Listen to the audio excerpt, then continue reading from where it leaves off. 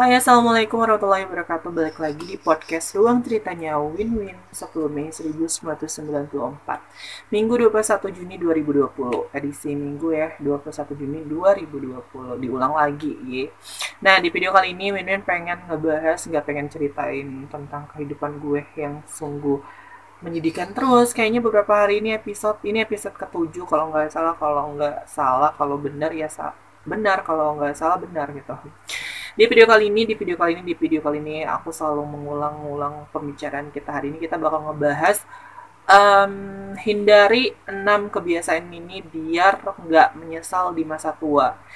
Jadi uh, kebiasaan-kebiasaan ini harus kali kalian hindari di masa muda ini biar kalian tuh nggak nyesel di masa tua.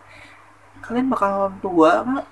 Iya, kalian bakalan tua nggak ada yang uh, muda terus hari itu terus berganti hari terus makin lama makin keriput. Dan Wirin tuh beberapa hari yang lalu emang pengen ngebahas tentang hari tua ya. Tapi bukan tentang enam kebiasaan ini. Dan Wirin nemu sebuah artikel dari IDN Time itu tuh kayak hah ini tuh yang pengen aku bahas banget kemarin. Tapi bukan soal keriput tapi soal uh, kebiasaan yang mungkin bakal bikin aku nyesel pas aku tua gitu. Yang pertama adalah malas belajar. Banyak banget orang tua yang nyesel banget pas masa muda dan sampai ke uh, kayak nenek kalian, tante, oma, pap, eh, papa, iya mungkin bapak kalian, ibu kalian yang nyesel banget pas hari tuanya itu nggak belajar gitu kan dia malas belajar apalagi soal ilmu agama soal ngaji dan kayak emakku bapakku tuh nyesel banget pas waktu muda mereka tuh males belajar ngaji gitu kan. Jadi pas udah tua tuh pas belajar itu jadi susah masuknya gitu kan. Dan ya usahalah ya kan. Nah jadi uh, berusahalah untuk kalian nggak males belajar. Selalu semangat belajar biar kalian tuh nggak nyesel di hari tua kalian teman-teman. Ayo kalian lagi sekarang tuh lagi pengen belajar apa semangat jangan mas-males yang kedua itu boros uang dan waktu. Kalau boros uang win-win nggak punya uang tapi boros uang. Ya karena banyak banget kebutuhan yang harusnya itu nggak jadi kebutuhan pokok kita tapi kita impi-impikan. Pas sudah kebeli ya nyesel belinya gitu kan. Jadi kalian harus benar-benar pikir dua kali kalau kalian pengen belanja jangan boros uang di masa muda kalian. Karena kalian itu nanti nggak ada tabungan di masa tua kalian. Tapi yang berpikiran ih kalau aku mati tabunganku buat siapa? gitu kan. Ya setidaknya lah jangan boros banget belanja boleh tapi disisikan buat nabung. Terus waktunya juga jangan disia-siain dengan hal-hal yang tidak bermanfaat. Jangan kayak uh, jadi waktu itu adalah uang. Banyak banget time is money. Jadi uh, kita nggak boleh ngebuang-buang waktu. Apalagi win-win abis syuting ya. Abis syuting nge-review aplikasi yang menghasilkan uang. Itu kalian bisa coba tonton di video win-win yang review aplikasi. Jadi jangan sia-siain masa muda kalian itu dengan oh, hal-hal uh, yang tidak bermanfaat tapi yang lebih penting lagi ibadah ya. Perbanyak juga ibadah. Jadi kalau seandainya ada waktu luang uh, kayak ngaji dan segala macam juga. Uh, yang pertama tadi belajar lah ya. Kalau kalian banyak waktu kalian belajar. Next yang ketiga itu menunda hal yang ingin kamu capai. Pasti di masa muda kamu tuh banyak banget hal yang pengen kal kalian capai. Kayak aku pengen pengen ini, aku pokoknya pengen naik jabatan, pokoknya aku pengen S2, aku pengen PNS. Apalagi nih sekarang nih teman-temanku banyak banget yang ikut tes P,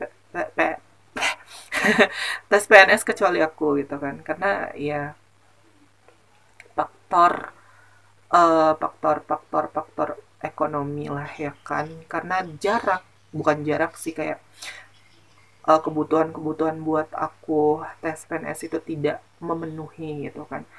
Tekad sih ada cuman kita tuh bukan cuman butuh tekad bukan cuman butuh usaha tapi kita tuh butuh dana. Benar gak sih? Kita butuh dana. Punya tekad nggak punya dana ya sama aja bohong. Jadi jangan tunda-tunda uh, apa yang kamu capai tapi kamu bakalan usaha ya. Jangan kayak kata Win-Win tadi uh, apa ya nggak ada dana terus ada niat kalian nggak berusaha untuk cari dananya. Ya kalian harus berusaha untuk cari dananya gimana pun caranya itu gitu kan. Kayak ya begitulah karena Win ini pemalas jangan dicontoh ya teman-teman. Pokoknya Win ini untuk memotivasi diri Win sendiri dan teman-teman di rumah sekalian. Oke. Okay. next selanjutnya adalah hidup untuk bersenang-senang. Banyak banget orang yang mempunyai uang banyak. Bahkan yang tidak mempunyai uang banyak dan minta sama orang tuanya gitu kan. Untuk bersenang-senang untuk melakukan hal-hal yang dia tuh lupa bahwa dia tuh bakalan tua ya dia lupa bahwa uh, hari itu terus berganti dan akhirnya dia bersenang-senang berleha-leha dan lupa bahwa nanti apa yang bakal dia rasakan penyesalan kecuali emang rezeki dia ya. Dan yang selanjutnya tidak menjaga hubungan ba yang baik dengan teman. Jadi win-win tuh termasuk orang yang tidak menjaga baik hubungan teman. Tapi kadang win tuh mikir lagi Win-win tuh butuh yang namanya sosialisasi ya kan sama teman-teman juga. Nanti kita butuh sama teman-teman. Mungkin ini suatu ketraumaan win-win banyak teman-teman yang win-win anggap dia tuh sombong padahal sebenarnya tuh dia tuh sibuk. Orang-orang tuh masing-masing punya kesibukan sendiri-sendiri dan punya prestasi sendiri-sendiri. Jadi ada punya hat, uh, kayak iri hati jadi benci gitu nauzubillah min zalik. Jadi kalian harus menjaga hubungan kalian sama teman-teman kalian karena di hari tua nanti kalian bisa uh, bersama teman kalian nanti ya.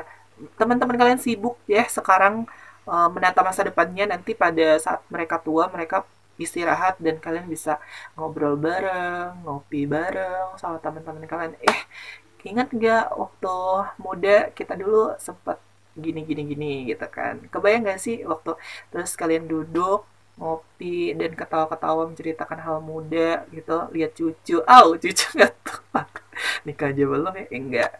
Pokoknya begitulah menjaga hubungan dengan teman. Yang terakhir ini jarang berolahraga serta kurang peduli kesehatan. Nah teman-teman banyak Eh, orang-orang muda zaman sekarang aku masih muda aku masih kuat. Pasti aku nggak bakalan kena penyakit. No teman-teman Win itu muda tapi banyak banget penyakitnya karena uh, tidak menjaga kesehatan, tidak berolahraga juga gitu kan.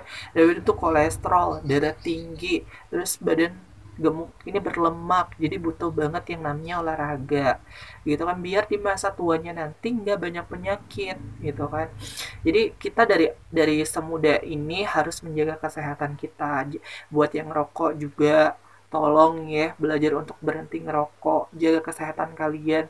Biar di waktu biar di hari tua kalian itu uh, paru-paru kalian tuh masih sehat, nggak batuk gitu kan, dan juga bisa menjaga sekeliling kalian biar makin sehat. Oke, okay. semoga uh, 6 kebiasaan ini, 6 kebiasaan ini bisa kalian hindari biar kalian gak nyesel di hari tua ya teman-teman. Sampai jumpa di podcast Ruang Cerita Win selanjutnya. Wassalamualaikum warahmatullahi wabarakatuh. Bye-bye.